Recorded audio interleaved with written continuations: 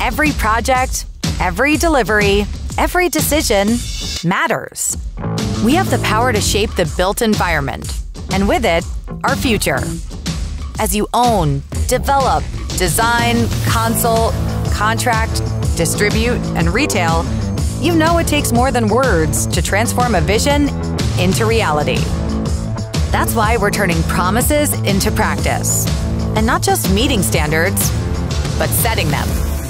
We're building North America's first ever zero carbon drywall manufacturing facility in Montreal.